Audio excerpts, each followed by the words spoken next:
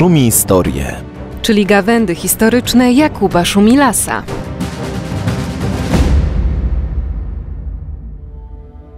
Witam serdecznie.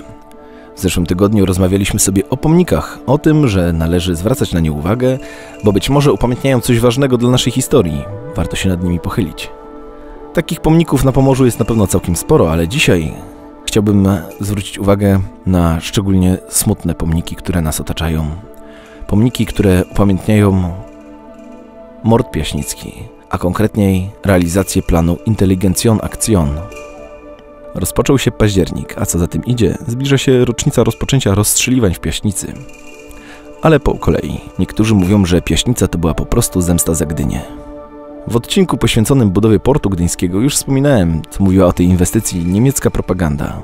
Gdy rozpoczynała się budowa portu, niemieckie gazety pisały tak: Zobaczcie, Polacy budują sobie za duży port jak na swoje potrzeby. Kto tam będzie chciał przypływać? Kto będzie chciał korzystać z tego portu? Przecież obok jest port z ogromną tradycją, tysiącletnią tradycją, port w Gdańsku. Kto będzie chciał przypływać do jakiejś Gdyni? Oczywiście jak zbudowaliśmy port w Gdyni, który bardzo szybko stał się jednym z największych portów w Europie, to niemieckie gazety zaczęły pisać tak. Polacy celowo zbudowali sobie za duży port jak na swoje potrzeby.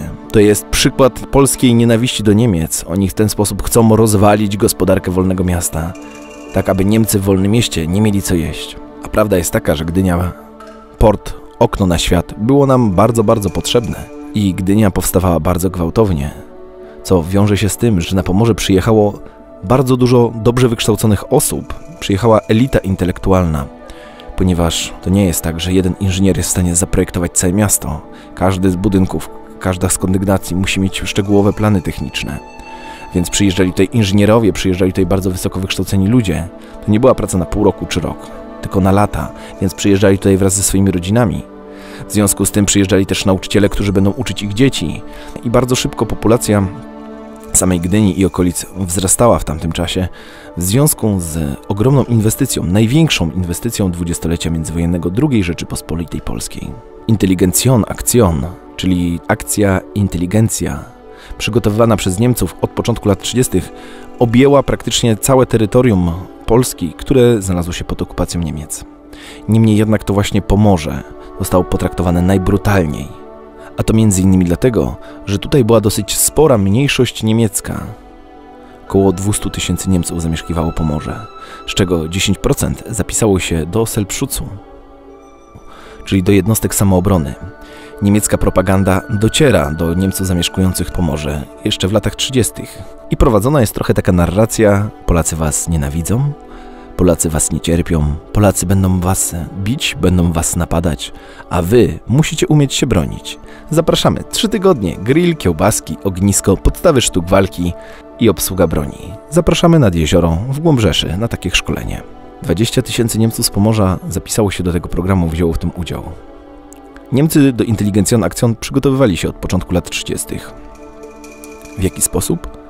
Gromadzili bardzo dużo danych na temat osób potencjalnie niebezpiecznych. Tworzyli listy takich osób, które zawierały imię, nazwisko, adres zamieszkania, rysopis, często zdjęcie, zawód, poglądy polityczne. Inteligencjon Akcjon w założeniu miała być dosyć szybką akcją. Po tym, jak Niemcy przejmą tutaj kontrolę, w krótkim czasie mają wymordować całą inteligencję. Tak, aby uniknąć powstania ruchu oporu, aby zniszczyć polską kulturę, aby nie było ludzi, którzy będą w stanie ją podtrzymywać, tych wysoko wykształconych. Kto będzie lepszym policjantem? Żołnierze, którzy być może na Pomorzu są pierwszy raz w życiu, przyjechali z drugiego końca Niemiec, czy ci ludzie, którzy na co dzień tutaj mieszkają? Gdy Niemcy zajmują Pomorze, pada rozkaz, żeby ci obywatele, którzy zapisali się do jednostek Selpszucu, stawili się. Dostają listy. To są wasi sąsiedzi. To wy wiecie, jak oni dzisiaj wyglądają. To wy wiecie, gdzie dzisiaj mieszkają. Proszę ich doprowadzić. Szumi historię. czyli gawędy historyczne Jakuba Szumilasa.